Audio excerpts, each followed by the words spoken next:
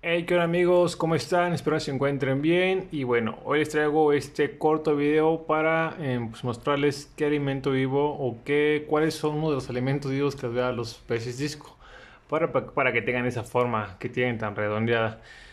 Llevaba bastante tiempo que no les daba artemia y esto porque aquí en mi ciudad es muy difícil de conseguir artemia, ya que pues eh, en los locales no, no es muy rentable vender artemia porque muchas veces no, no se vende y como saben la, artemia es fácil, fácil de que muera.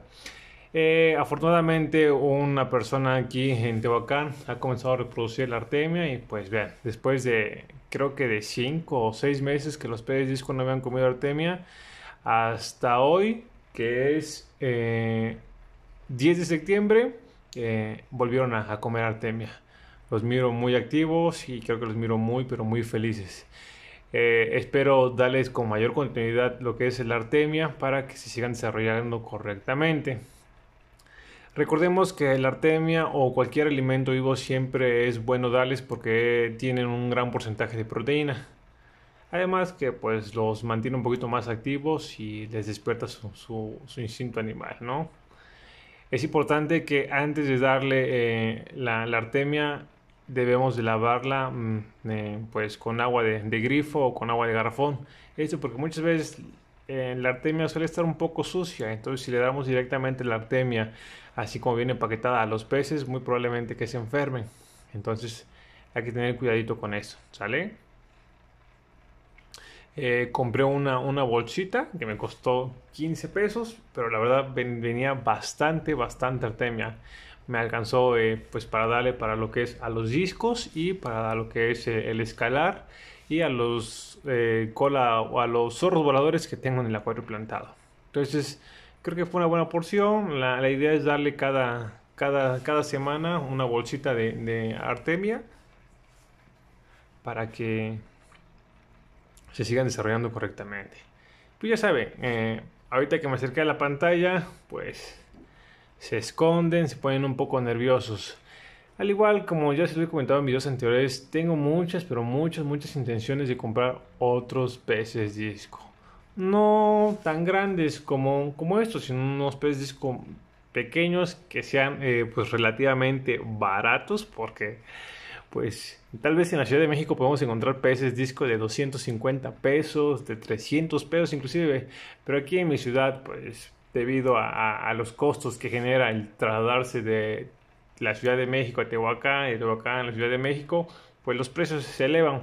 Entonces un pez disco pues, de una talla de, ¿qué será? De 2.5 pulgadas ha de costar como unos eh, entre los 800 y 900 pesos. Hay acuarios que lo dan más caros, hay acuarios que lo dan más baratos, pero pues entre ese rango andan los precios de los discos de, esa talla de 2.5 pulgadas.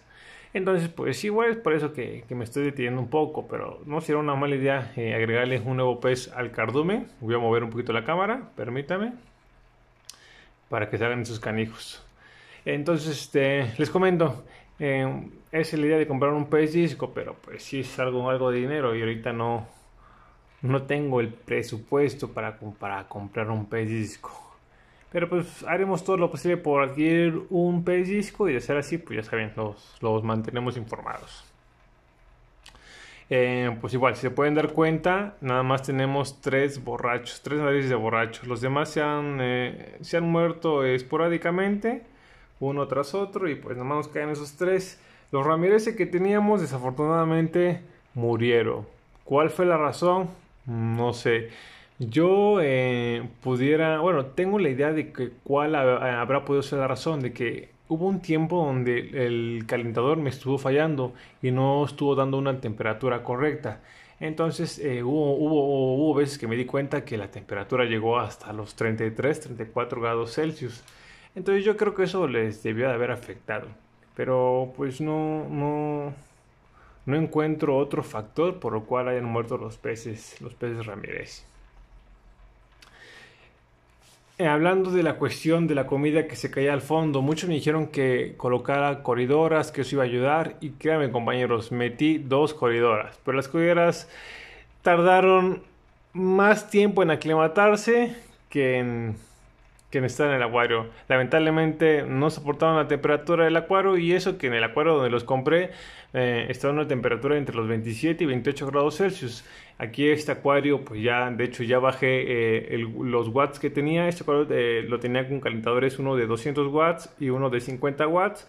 Ahorita nada más está trabajando con un calentador o un termostato de, de, 200 watts y aún así la temperatura oscila entre los 30 y 31 grados. Es un calentador de lomas.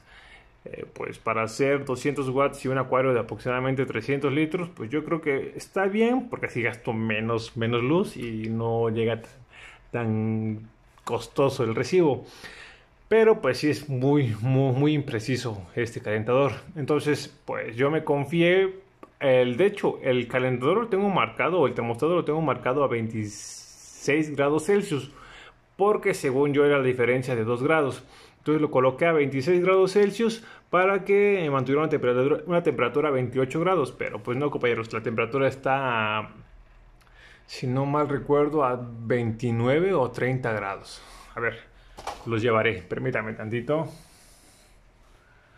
Mm. Espero se alcance a ver bien ahí. Vamos a... Está en los 30 grados, vean.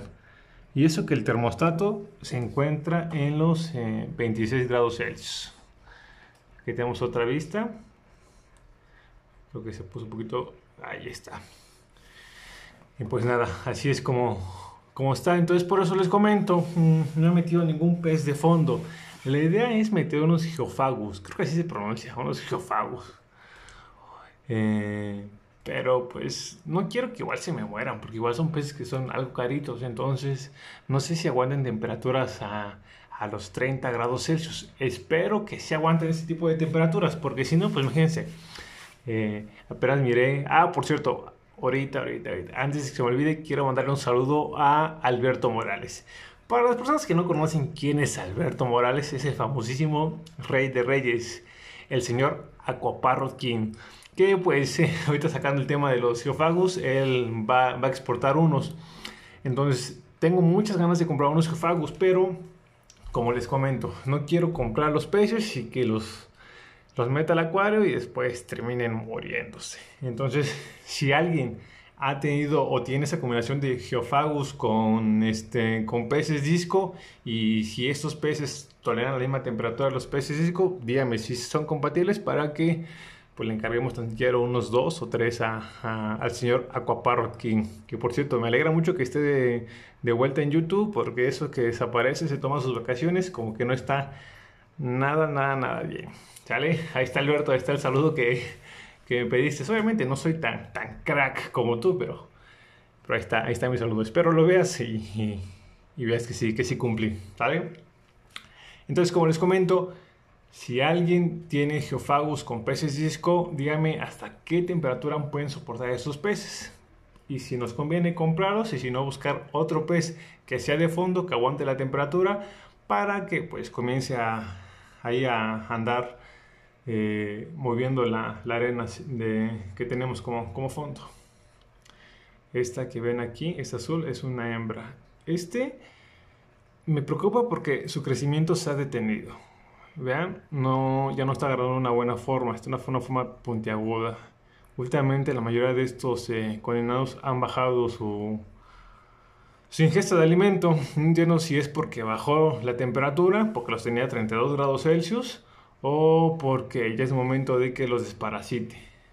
No voy a ser la de malas que tengan algún parásito ahí que no esté haciendo que coman correctamente y no queremos que pase algo mayores. Esta es una hembra, ahí está el machito este. Y abajito esta blue que se ve abajito es, eh, es hembra igual. Recuerden que seguimos con nuestro proyecto de de los troncos con anubias, la verdad no tengo tiempo. Últimamente, eh, bueno, ahorita estoy trabajando en un proyecto de la universidad. Ya estoy en mi proceso de titulación y entonces estoy más enfocado en eso. Así que aguánteme si es que no subo mucho, mucho contenido. Va a llegar un momento donde ya esté totalmente libre de, de la titulación y ya me enfocaré más eh, en lo que es el canal. ¿Sale amigos? Pues nada, ese es el pequeño video que según iba a subir, pero ya se alargó, ya están hasta los 10 minutos. Exacto para poner un montón de comerciales.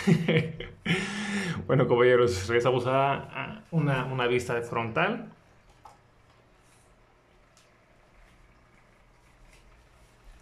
Y aquí nos quedamos. Y pues nada, como, como les comento, ese es el, alimento vivo que les doy, la, la, pequeña artemia. Ven como está por aquí una, están bastante grandecitas. Ya hay bastantes, entonces voy a dejarlo un momento más con la luz prendida porque ya es noche. Para que se terminen de comer lo, que falta. Así que, pues recuerden, si alguien tiene Geophagus con peces disco, díganme si estos aguantan una temperatura alta para comprar un par. Les envío un fuerte abrazo, espero que tengan un excelente día. Recuerden suscribirse, darle like y dejar su comentario en este video. De igual manera, no, no, no olviden activar la campanita de notificaciones para que les llegue un mensaje cada vez que subamos un nuevo video. Mi nombre es Alberto, esto fue Correcto Acá y nos estamos viendo en un próximo video. Hasta luego compañeros. Que tengan un buen día tarde o noche. Hay que dejar que coman más. Bye.